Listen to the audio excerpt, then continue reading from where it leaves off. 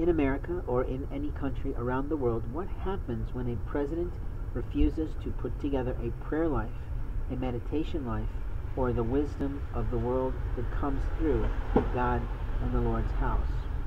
In other words, you can claim to be a person of faith, or you might not have any at all, or you might have the weakest amount of faith, but here's the truth of it all.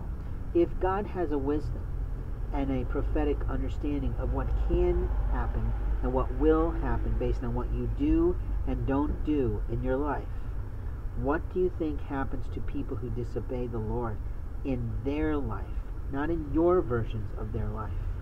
Usually there is strife. If you are continuing to harass and harangue someone in your sibling set, you need to stop and get back to focusing on your life.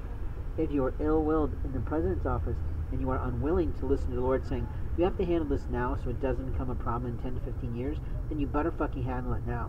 Because Jesus Christ is no dumbass.